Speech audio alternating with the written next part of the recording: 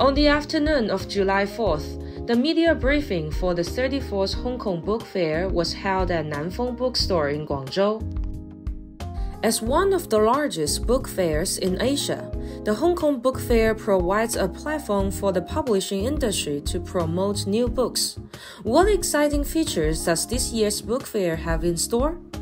今年香港書展嘅主題咧就係影視文學，大家好多誒大灣區嘅朋友啦，都係由香港嘅電影啦、電視啦、音樂咧陪住佢哋成長嘅。咁所以香港書展咧用咗呢個影視文學作為一個主題咧，就可以係一個好好嘅交流平台。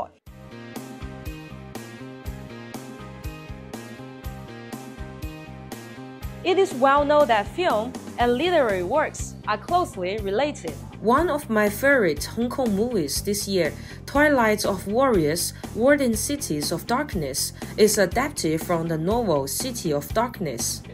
At this year's Hong Kong Book Fair, there will be a series of lectures. You're the author of this novel, will share the journey of creating the story and also the challenges of film adaptation. I kind of want to attend his lecture. What about you?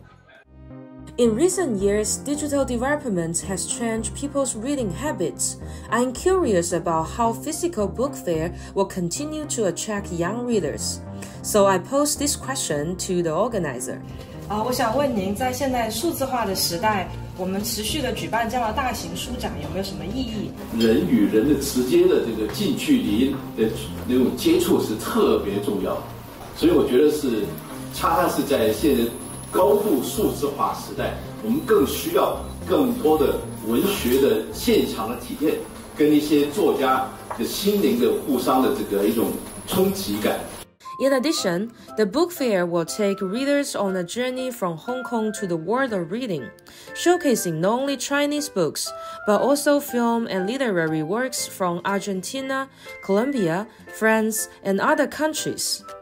The Hong Kong Book Fair will be held from July 17th to July 23rd at the Hong Kong Convention and Exhibition Center.